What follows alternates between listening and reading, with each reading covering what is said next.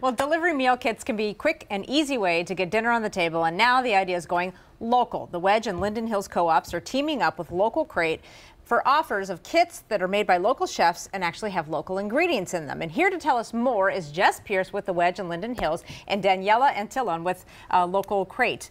Did I get it even remotely you right? did, you did. That was pretty good. you say it way more beautifully than I do. But uh, thank you guys for being here today. Thank you. We really appreciate it. What a cool idea. People have been doing this in these big national chains, mm -hmm. but the two of you guys kind of had the same philosophy and you thought, let's pair up, right? Yeah, absolutely.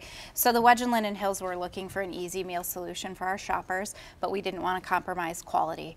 Um, Local Crate came to market about a year and a half ago and felt like, man, this is the perfect partnership. They really focus on local ingredients, just like the Wedge and Linden Hills do.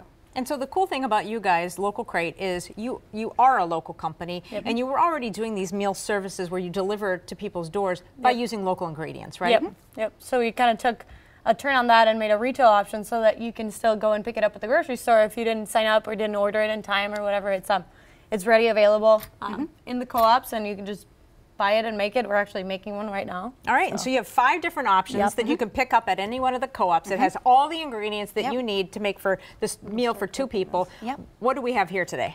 Uh, so this is a chicken fajita bowl. It's got a cilantro lime rice. It just has a little bit of lime zest and cilantro. And then we got these fajitas that we made in the oven, super easy. And then I get the chipotle sour cream that we're really always super excited about because we work with a really awesome chipotle sauce maker here in Minneapolis. Um, Isabel Street Heat. The co-ops actually carry him. Um, so we'll see what it turns out like.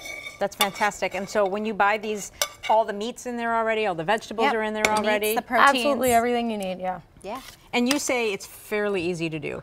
Yes. It's super easy to yes. do. I'm not a great cook, I will admit to that, um, and it's something that I'm able to do um, in about 30 minutes, even with my kids running around. So it's right. definitely an easy thing. And when you walk into the co-op, where are they located? Where can sure. you find them? So at both Wedge and Linden Hills, we've got a cooler. You'll see it. It's branded Local Crate. Um, you can head over there. We've got the five different items that you can pick up.